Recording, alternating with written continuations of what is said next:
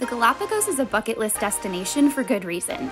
Here are some things that I loved and some things that I wish I'd known before I went on my cruise with Hurtigruten Expeditions. Number one, the animals are incredible and they're a major highlight of the trip. These include species like flightless cormorants, land and marine iguanas, giant tortoises, and Galapagos penguins. Number two, the chocolate is delicious. There's something about Ecuadorian chocolate that makes all other chocolate seem inferior. Number three, the hospitality was unforgettable. And now some things I didn't love. Number one, the climate.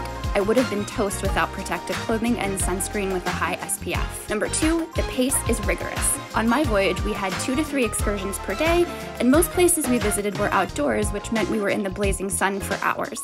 Aside from that, the Galapagos is understandably a popular destination for many. It's astonishingly serene, and the natural diversity of the islands is amazing. Follow us for more exotic travel content.